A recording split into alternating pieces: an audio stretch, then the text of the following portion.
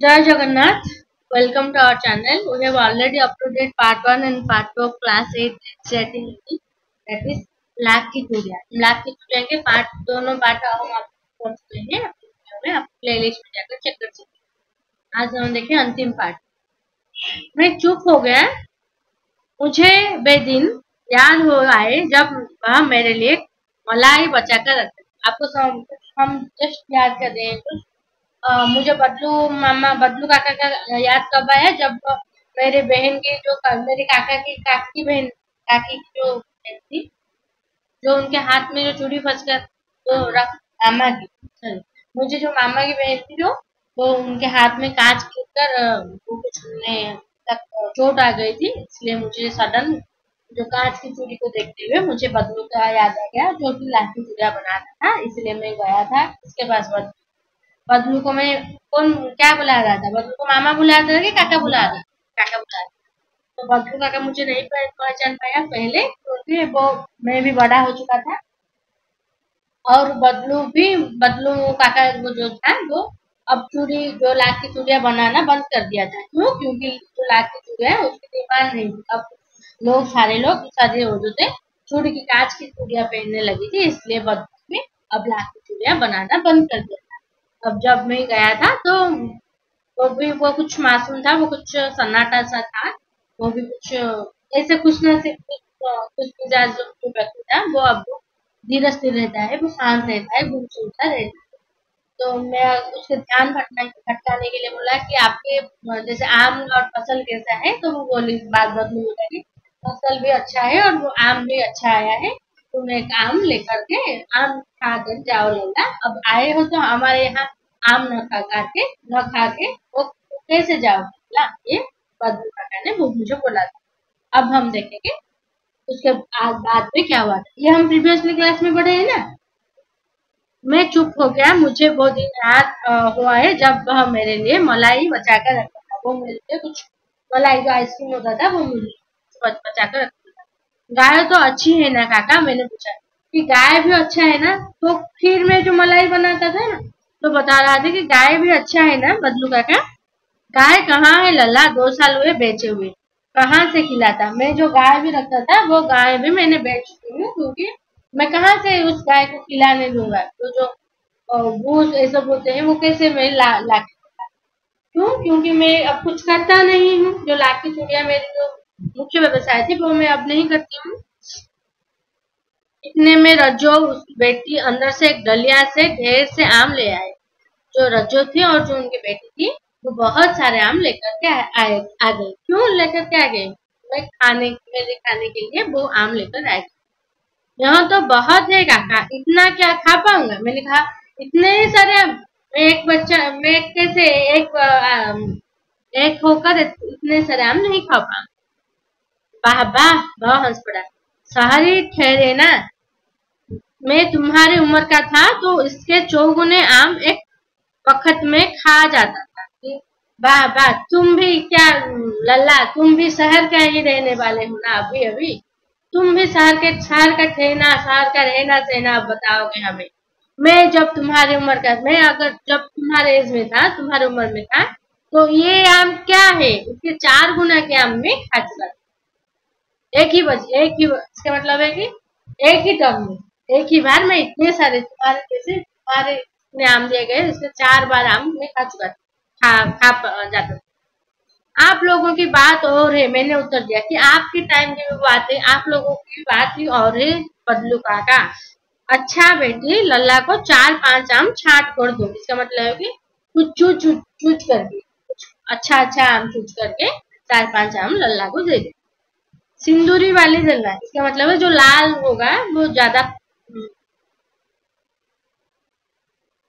वो ज़्यादा पक्का हुआ होगा, मीठा होगा, वो जैसे चार पाँच दे देखो लल्ला कैसे है। इस साल इसी साल यह पेट तैयार हुआ है। देखो तो लल्ला कैसा है ये आम ये आम ये इसी साल ही आया है इस पेड़ से।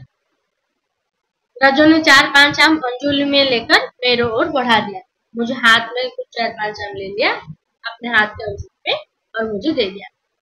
आम लेने के लिए मेरे हाथ बढ़ाया तो मैंने, मेरी निगाह एक सेकंड के लिए उसके हाथ पर थी ठीक गया। इसका मतलब यह है कि मैं जब आम उसके हाथों से ले रहा था, किसके हाथों से?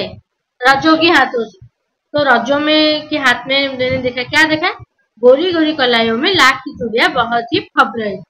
वो जो रजो थी, वो वो लाख की चूड़ी पहन रही थी? उसके हाथों में गोरी गोरी कलाइयों में लाख की चूड़िया बहुत ही अच्छा लग रही थी, बहुत ही फब रही बदलू ने मेरी दृष्टि देख ली और बोल पड़ा, यही आखिर जोड़ा बनाया ये बता, ये बताया कि देखो लल्ला, यही जो ये रजो पहन ली कलाइयों पे, ये जो लास्ट सेक्शन आखिर में ये बनाया बनाया गया था। किसके लिए जमींदार साहब की बेटिया की विवाह पर मैंने ये बनाया इस आने में से दस आने पैसे मुझको दे रहे थे इसके बदले में वो मुझे कितने पैसे दिए? दस आने। मैंने जोड़ा मैंने जोड़ा नहीं दिया, कहा, शहर से ले आओ। मैंने बोला कि दस आने में ये जोड़ा नहीं हो पाएगा आपको शहर से लेकर आ जाओ। मैंने आम के लिए और खाकर थोड़ी देर आम आम ले आए, सॉरी आम ले आए, इसके मतलब है कि मैंने आम जो अंजलि में थी के हाथों में से रजो के आम ले आई और थोड़ी देर तक खा भी, कुछ खाया भी, कुछ आम वहाँ पर खाकर थोड़ी देर पश्चात चलाया। कुछ देर के बाद मैं यहाँ से चलाया। मुझे प्रसन्नता हुई कि बदलू ने हार कर भी हार नहीं मानी। इसका व्यक्तित्व कांच की चुटिया जैसा न था कि आसानी से टूट जाए। इसका मतलब है कि उसका व्यक्तित्व कुछ अलग ही था।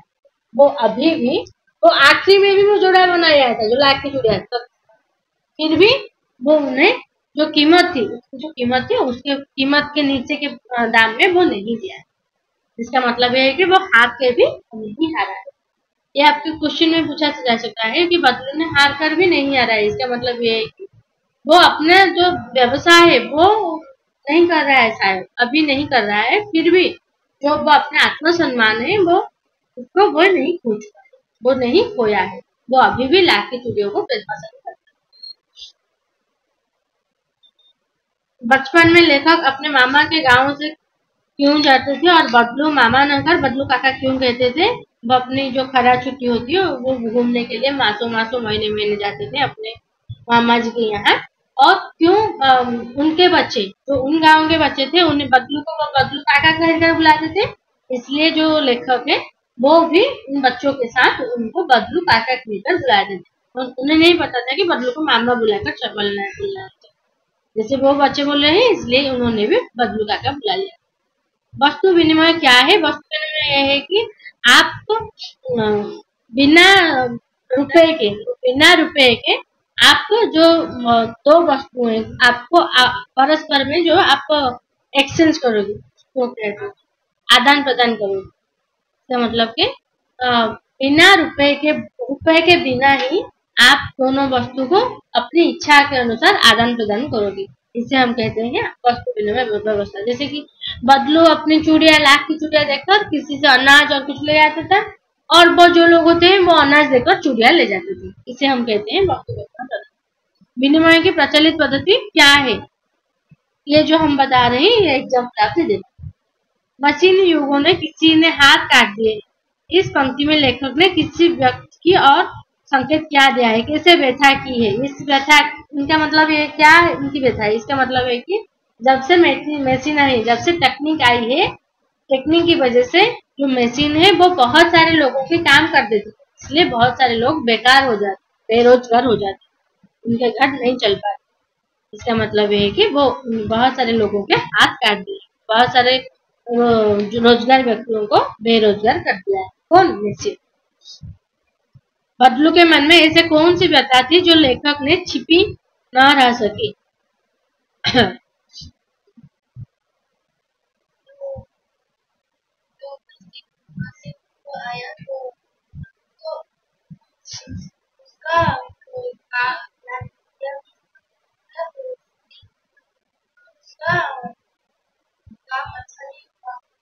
ये जो बदलू के मन में व्यथा थी, क्योंकि तो जब मशीन जब से मशीन आया है और जब से कांच की चूड़िया ज़्यादा बनाने लग गए हैं तो जो गाँव की और जो शहर की औरतें हैं, वो कांच की चूड़िया ज़्यादा पहनने के लिए प्रिपेयर करती ज़्यादा पहनती इसलिए लाख की चूड़ी को ज़्यादा ज़्यादा उसकी बिक्री नहीं होता। इसलिए बदलू को मन में बहुत ही दुखी दुख था।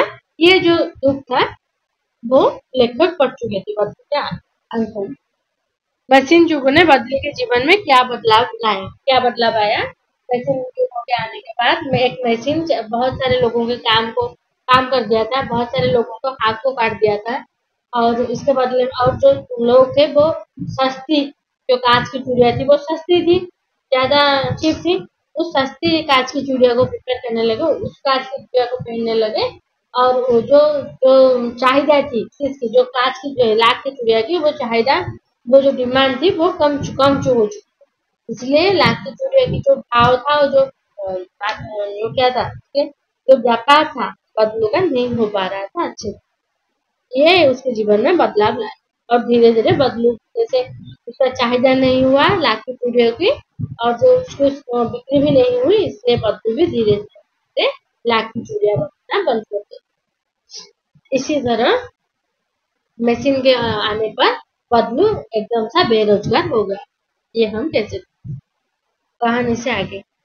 आपने मेले बाज़ार आदि में हाथ बनी चीज़ों के बिकते हुए देखा होगा। हाँ आपके मन में किसी चीज़ को बनाने की कला सीखने की इच्छा हुई तो होगी और आपने कोई कारीगरी सीखने का प्रयास किया हो तो उसके विषय में लिखिए ये जो हमारी कला होती है, जैसे मूर्ति हम बनाते हैं हम भी अगर जब मूर्ति किनते हैं तो हम भी याद करते हैं ना, काश हमें भी ये मूर्ति भी हमें बनाने आती होगी, शायद।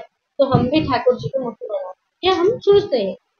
तो लाख की वस्तुओं का निर्माण भारत के किन किन राज्यों में होता है? लाख की चूड़ियों से अतिरिक्त क्या क्या चीज़ें बनती है? क्या कीजिए लाख के बिना, लाख से हम क्या क्या क्या क्या वस्तु बना सकते हैं? ये आपका ये एग्ज़ाम नहीं आएगा देन अनुमान और कल्पना। घर के मेहमान आने पर आप क्या अतिथि सत्कार कैसे करोगे? ये आपका एग्ज़ाम में आएगा नहीं शायद? Then hmm? आपकी भाषा की बात हम डायरेक्ट चलते हैं। बदलू तो किसी बात से चीज़ थी तो कांच की चूड़ियों और बदलू स्वयं कहता था, जो सुंदरता कांच की चूड़ियों में होती है, लाख में कहा संभव यह पंक्ति बदलू को दो प्रकार मन दिशाओं को सामने लग, लाती दूसरे पंक्ति में उसके मन का पीड़ा है। उससे व्यंग भी होती है। हारे हुए मन से या दुखी मन से अथवा व्यंग से बोले हुए व्यक्तियों को अर्थ सामान्य नहीं होती। कुछ व्यंग व्यक्तियों को ध्यानपूर्वक समझकर एकत्रित कीजिए और उनके भीतरी अर्थ का व्याख्या करके लीजिए। इसका मतलब है कि वो बोल रहा था कि, क्या बोल रहा था यहाँ पर देखो? वो बोल रहा था कि, वो कांच की चूड़ियों से पीड़ करता था। और दूसरी बात में बोल रहा है कि जो जो सुंदरता कांच में है, वो लाख की चूड़ियों में कैसे वो जो पीड़ा होती है तो पीड़ा को वो यहाँ पर बता रहा है। वैसे ही वाक्यों को आप अगर दिखोगे तो आप अगर आप पढ़ोगे तो आपको ज़्यादा आप, समझ में आएगा।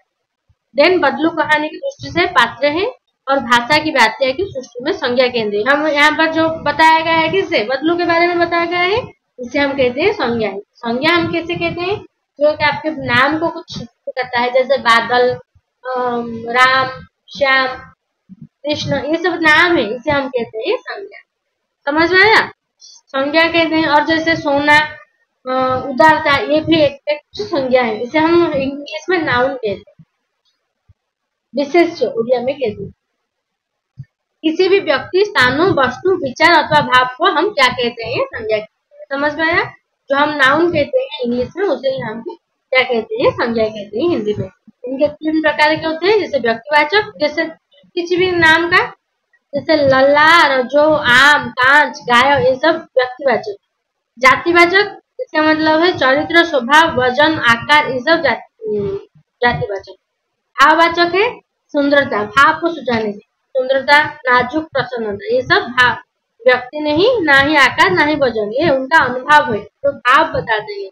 इसे हम कहते हैं भाववाचक संज्ञा। तो आपको इन तीनों में से कुछ संज्ञाएँ आपको चूज़ करना है। उस संज्ञा को चुनकर आपको ये लिखना है कि ये क्या है? यह व्यक्तिवाचक है कि जातिवाचक है कि भाववाचक? गाँव की बोली में कई शब्द के उच्चारण बदल बदल जाते हैं। कहानी में बदलू, वक्त वक्त, उम्र को उम्र कहा, कहता है। उस तरह के अन्य शब्दों को खोजिए, जिसके रूप में परिवर्तन हुआ है। वक्त में वहाँ के ये सब जो बता रहे हैं, जो लोकल लैंग्वेज जाते हैं उस शब्द का आपको छानना हो. ठीक है आपको क्वेश्चन आंसर आपको लिख कर लिख कर आओगे हम नेक्स्ट क्लास में नेक्स्ट चैप्टर में पढ़ेंगे तो थैंक यू फॉर वॉचिंग